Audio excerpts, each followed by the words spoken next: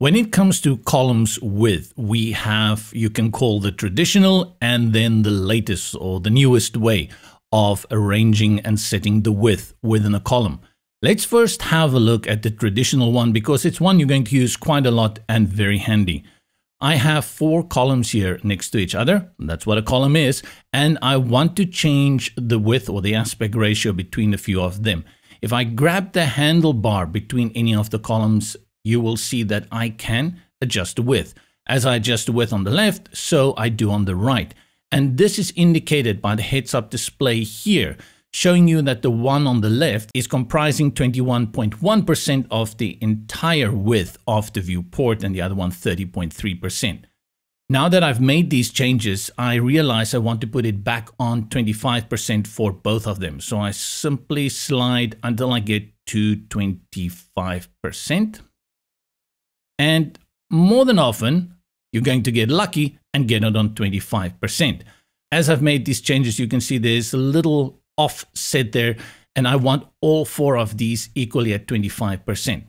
To take that pixel perfect control over the width of a column, go to the column toolbar by selecting this little icon in the top right hand corner, and then from the settings you will see we have the width here in percentage.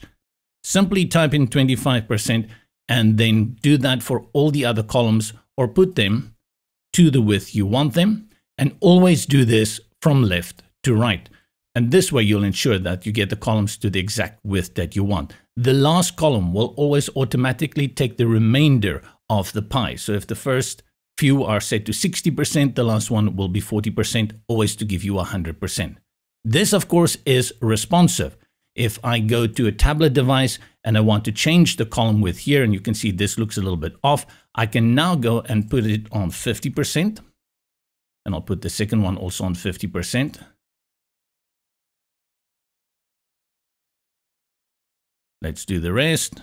Put that also on 50%. And then the last one. Two options then. You can drag it or you can go ahead, select the options toolbar and type in the value that is required. For more tutorials on updates within Brizy, please subscribe here to the YouTube channel. Give us a like if you think this video was useful or if you'd like to see more videos like this. Until next time.